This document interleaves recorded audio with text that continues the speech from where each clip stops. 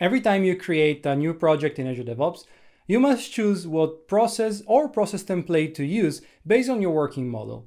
Let's see which one to use it and how to choose between them. This is the 3 Minutes Friday.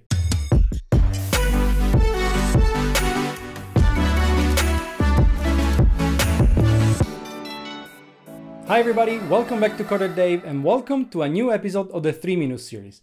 In each episode, I will try and explain a concept, showcase a product or service, or yet teach you something and all in just 3 minutes. Short videos, big value, hopefully. Before we start, make sure to subscribe to this channel if you haven't already, and if you want to learn about DevOps, especially with Azure DevOps and GitHub. Just click on the subscribe button below right now and turn on the notifications so you will not miss any new video. Today we talk about the process template that you need to choose whenever you create a new project in Azure DevOps. We will see what are the main differences between them and how to choose. Let's start the clock and get into it. There are four different default process templates that you can choose from out of the box in Azure DevOps. Basic, Agile, Scrum, and CMMI.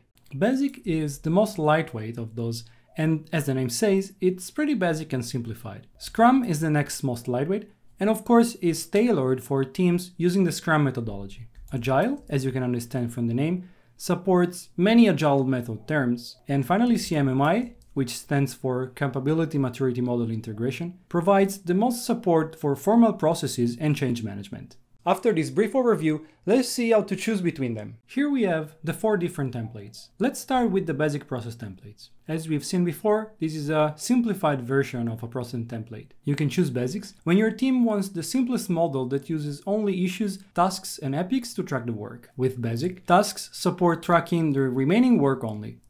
Let's move to the agile one.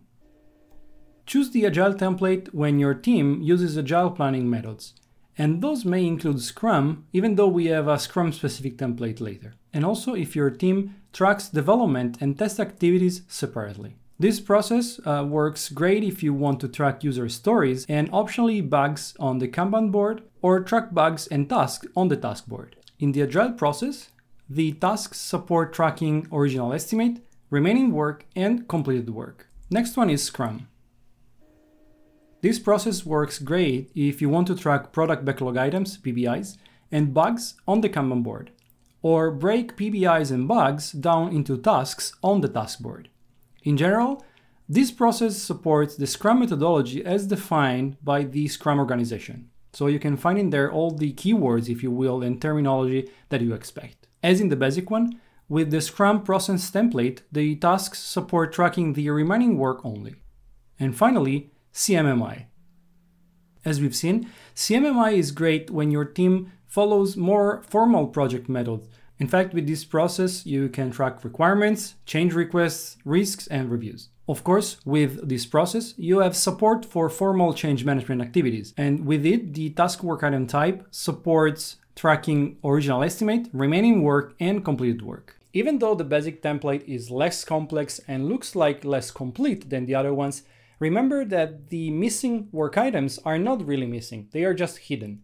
In fact, if for example you use a test case in the test plans feature, you will be able to link that test case back to Azure Boards, even if you're using the basic template. Finally, remember that those four process templates we've seen are just the out-of-the-box ones. You can always create new ones by inheriting from one of those and changing how they work, adding new work item types, new rules, new fields, and so on and so forth. And we're done. Let's stop the clock. Of course, there is much more to say about process templates and how they work, but I think this was quite an introduction, and I hope now you have the basics for deciding which one to use in your next project. Let me know in the comment section below if you want me to go deeper in this topic. Thanks so much for watching, I really hope you enjoyed. It. Hit the like button below, subscribe if you haven't already, and I see you in the next video here at Coder Dave.